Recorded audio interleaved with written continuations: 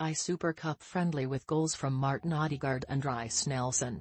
And the Gunners also won the bonus penalty shootout after the game 4-3. Every match in the tournament goes into a bonus shootout after the game in which an extra point is awarded to the winner. Ben White started for Arsenal as they continued their mid-season preparations.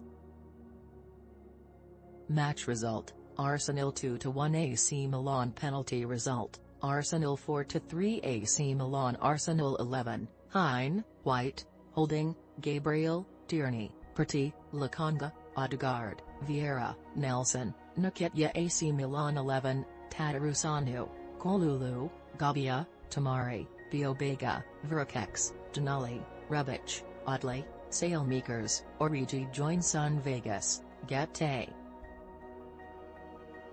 The skipper was at the heart of everything Arsenal did well this afternoon, pulling the strings from midfield. His free kick capped off a fantastic performance in the red and white, reminding fans just how important he is. Martin Odegaard celebrates scoring their first goal with Fabio Vieira credit, Reuters perfect form Arsenal make it two wins from two in the Dubai Super Cup, beating Lyon 3-0 last week. 8 points 2 wins 2 penalty shootout wins Mikel Arteta hosts Juventus at the Emirates next. Jack Rosser in Dubai Sun Sports Jack Rosser was at the Al Maktoum Stadium for this one and has this post-match report.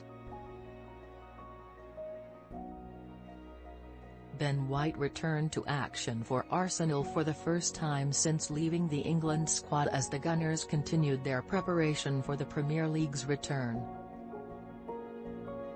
Martin Odegaard and Reiss Nelson were both on target for Mikel Arteta's side in a 2-1 win over AC Milan in Dubai, a result which saw the Gunners win the Dubai Super Cup. But there will be more excitement for Gunners fans over the return of White. The defender dropped out of the England camp early last month due to personal reasons amid an alleged fallout with assistant manager Steve Holland. White rejoined his teammates on Sunday after a short break and played the first 45 minutes at right back here, while Ghana international Thomas Partey also started for the first time after the World Cup. Arsenal strolled past Lyon in the first of two friendlies in the Middle East last week, beating the French side 3-0 but they were facing a more difficult task against the Italian champions, with former Liverpool man Divock Origi delivering a shot across the bows early on.